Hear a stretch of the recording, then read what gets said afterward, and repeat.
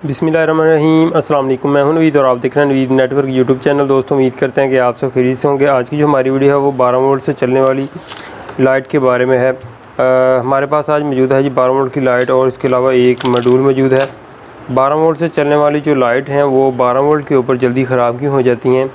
आज हम आपको बताएँगे कि आप उनको कैसे जो है वो लॉन्ग लाइफ के लिए जो है वो इस्तेमाल कर सकते हैं। मेरे पास एक लाइट मौजूद है ये 12 वोल्ट की। और ये मैंने तकरीबन कोई 10 से 15 दिन हो गए हैं इसको लाकर लगाया था। तो इसकी ये हालत हो गई है। एक तो ये है कि ये हीट अप हो गई थी और इसका जो ऊपर से ग्लास था, ये भी पिघल कर जो है वो इस हालत में हो गया है। तो ये ख़राब होने की वजह यह है कि जब हम बैटरी से इस लाइट को डायरेक्ट 12 वोल्ट के ऊपर चलाते हैं तो बैटरी जो है वो मैक्सिमम कोई 13 से 14 वोल्ट से जो है वो चार्ज होती है। मैक्सिमम जब वो फुल होती है तो उसके वोल्ट जो है वो चौदह इशारिया पाँच पे चले जाते हैं। तो ये लाइट जो है ये बारह वोल्ट से चलने वाली है।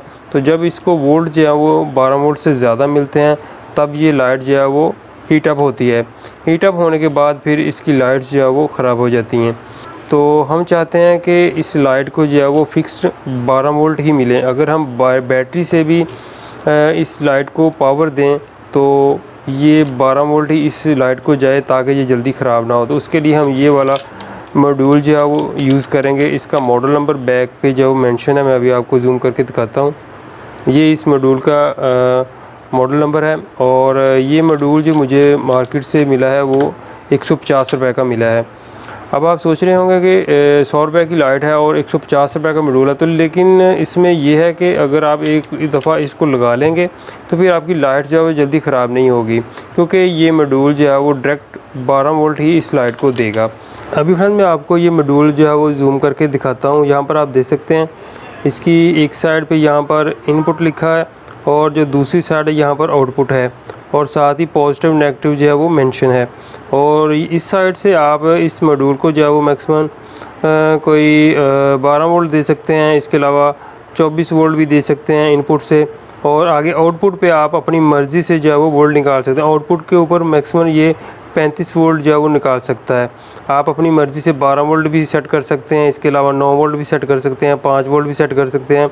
इस रेगुलेटर के ऊपर वेरिएबल जो है वो लगा हुआ इसको आप जब क्लॉकवाइज घुमाएँगे तो इसके वोल्ट जो है वो अप होंगे और जब इसको आप एंटी क्लॉकवाइज घुमाएँगे तो इसके वोल्ट जो है वो कम हो जाएँगे। तो अभी हम क्या करेंगे, अभी हम अपनी लाइट्स के मुताबिक जो है वो वोल्ट जो है वो सेट करेंगे ताकि हमारी लाइट जो है वो ख़राब ना हो।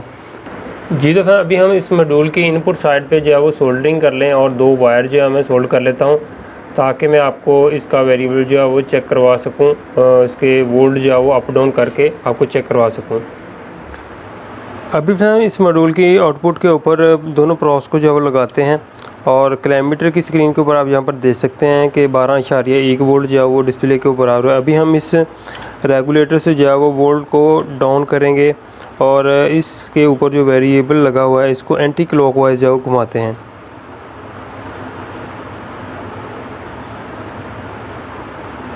अभी आप यहाँ पर देख सकते हैं वोल्ट जो है वो नीचे आ रहे हैं। बारह इशारिया एक आ चुका है हो चुका है। और मज़ीद आप यहाँ पर देख, ग्यारह इशारिया छः वोल्ट हो गए उसके बाद दस इशारिया छः। मज़ीद हम नीचे लेकर जाते हैं कि ये मैक्सिमम कितने वोल्ट जो है वो डाउन करता है। इनपुट के ऊपर हमने इसको जो है वो बारह इशारिया सात वोल्ट दिए थे। इनपुट के ऊपर मैक्सिमम आप इसको पैंतीस वोल्ट जो है वो दे सकते हैं और आउटपुट के ऊपर आप इसको बारह वोल्ट से लेके एक वोल्ट तक जो है मैक्सिमम डाउन कर सकते हैं। तो अभी हम इसको दोबारा जो क्लॉकवाइज घुमाते हैं और इसके वोल्ट जो है हम इसके ग्यारह इशारिया सात वोल्ट के ऊपर जो हम सेट करते हैं ताकि हमारी लाइट जो है वो ख़राब ना हो। हम पूरे बारह वोल्ट भी नहीं रखेंगे, हम ग्यारह इशारिया मैक्सिमम सात वोल्ट जो मैं रखूँगा। फिर हम लाइट को भी ऑन करके देखेंगे इस मॉड्यूल के आउटपुट के ऊपर कि हमारी लाइट जो है वो ऑन होती है या नहीं ग्यारह इशारिया सात वोल्ट पे। तो अभी मैं मैक्सिमम ग्यारह इशारिया सात वोल्ट के ऊपर इसको सेट करता हूँ। तो फ़िलहाल अभी हम इसको ग्यारह इशारिया आठ के ऊपर जो वो कर देते हैं। जी तो फ्रेंड मॉड्यूल को हमने इस लाइट की बैक साइड पे जो हमने सेट कर दिया है। यहाँ पर आप देख सकते हैं और केबल टाई की मदद से इसके बैक साइड भी हमने इसको लगा दिया है। और अभी हम इस लाइट को जो है दोबारा चलाकर आपको चेक करवाते हैं।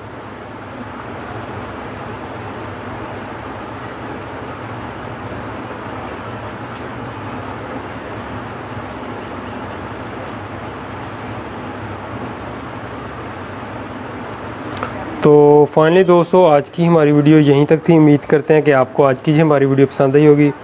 फिर मिलेंगे कि नई वीडियो के साथ। अपना बहुत सा ख्याल रखिएगा, दुआ में याद रखिए। अल्लाह हाफिज़।